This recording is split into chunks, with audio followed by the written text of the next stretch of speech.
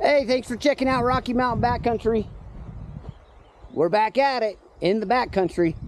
Man, look at that view, you guys. Let's walk down here a few steps and see what we can see. Oh, yeah, look at that. You can see a hundred miles that direction. If you care, that's north. But we've been up here camping with the family, and uh, you know what? Look, I got the booster seat sitting here in the front of the side by side. Nothing better than taking the grandkids for a ride and putting them to sleep for their mom. Bringing those kids up right, in my opinion. Anyway, I'm going to show you a couple things we've done to the side by side.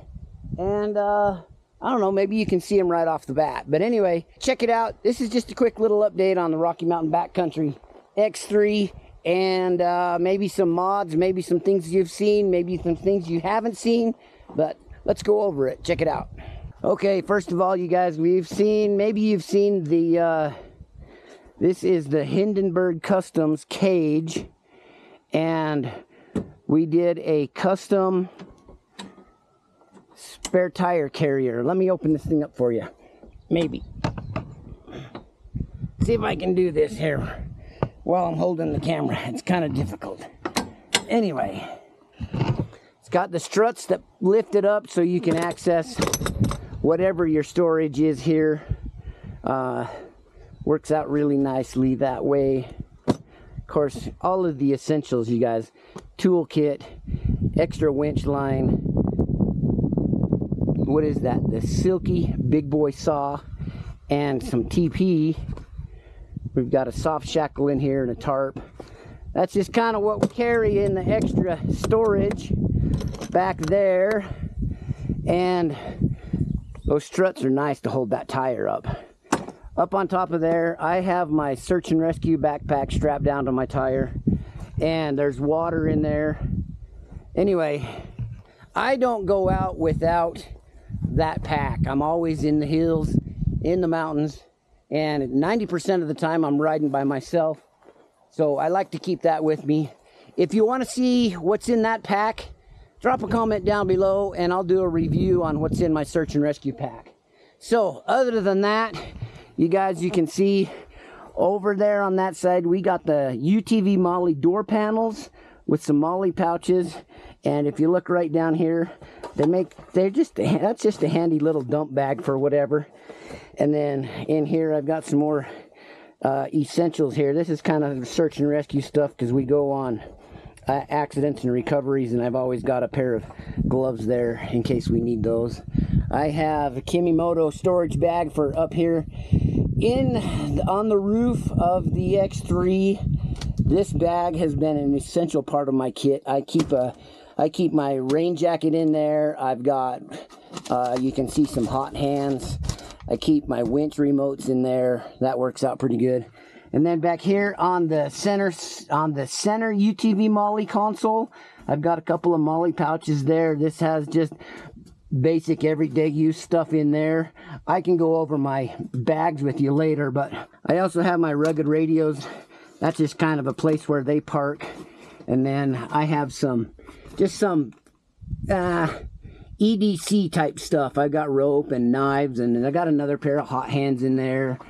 Just uh, some lighter, lighter stuff for building a fire. All of that stuff. Of course, that ended up that there after uh, a last trip. I'll show you guys a picture right here of that front tire. Well, it wasn't that tire, but it was the front tire on the passenger side. Check that out. We put a stick right through it.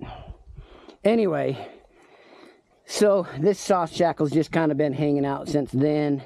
And uh, yeah, you guys, you've seen the Kemimoto tablet mount and the tablet.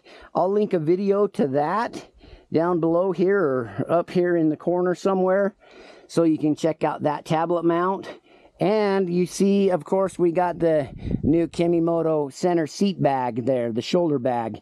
And I'm liking that. Let's see, come around the front, you got the winch bumper on here. We got a couple of lights that we've tried out. Not sure what's going to happen with those. Don't love them, but The other thing you can see, they're all muddied up. How about Novsight and some side view mirrors with some lighting in them? The problem is, is look at all that dirt on there. They get pretty dirty.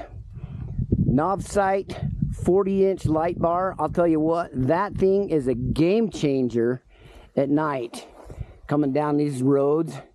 And you can see here, I just uh, threw up a little wiper blade there. See that action? it's not fabulous, but it's better than nothing. And I don't know what else you guys, you can see the rear bumper and the rear winch. That's the Openroad 6,000 pound rear winch. And then I put some lights on the back there. So if you're winching from the back at night, you got plenty of light.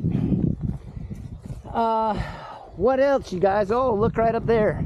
How about the Openroad traction boards? I've got them just mounted right to the roof. You can see super easy. I just drilled a hole. These brackets come with the traction boards and uh, they make it super easy to mount those up on there and they're out of the way. They've been kicking around down on the floorboard on that side for like six months and it's kind of been a pain in the butt. Anyway, there's a quick walk around of the Rocky Mountain Backcountry X3 Max. Uh, Turbo RR. Do we need to get it all in there? Thanks for checking out Rocky Mountain Backcountry, you guys. If you have any questions about the machine, drop a comment down below and I'll be happy to review anything else with you. Uh, other than that, we're going to go for a little ride and uh, hmm, enjoy the backcountry. So, like if you do, subscribe if you haven't, and we'll catch you on the next one.